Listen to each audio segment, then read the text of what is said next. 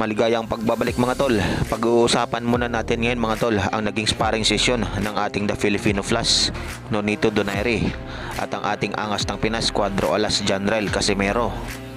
Ngunit bago yan mga tol, pakisuporta naman ng aking channel. Maraming salamat. So mga tol, matapos nga maglabas ng pahayag kamakailan lang ang asawa ni Nonito na si Rachel Donaire na kukuhain nilang sparring partner si Cuadro Alas para sa paghanda nito sa laban kontra sa Japanese monster na si Naoya Inoue. Ito ay dahil nasa tamang kondisyon pa daw umano si Casimero dahil katatapos lang ito ng kasagsagan ng training para sana sa laban nito kontra kay Paul Butler. Subalit hindi nga ito natuloy mga tol ang kanilang bakbakan. So dahil sa binitawang salita ni Rachel Donaire mga tol patungkol sa sparring nating dalawang kampiyon ay inaabangan nga ito ng karamihan lalo na yung mga Pinoy boxing fans. Base sa aking panaliksik mga tol ay may nakita tayong footage na nagsasabi na ito daw ang sparring ng dalawa nating kampiyon na si Donaire at Casimero. So kayo na lang ang humusga mga tol kung talagang sparring nga ba ito ng dalawa nating kababayan na si The Filipino Flash, Nonito Donaire at ang angas ng Pinas Cuadro Alas Jandrel Casimero. So panoorin muna natin tol ang highlights ng video.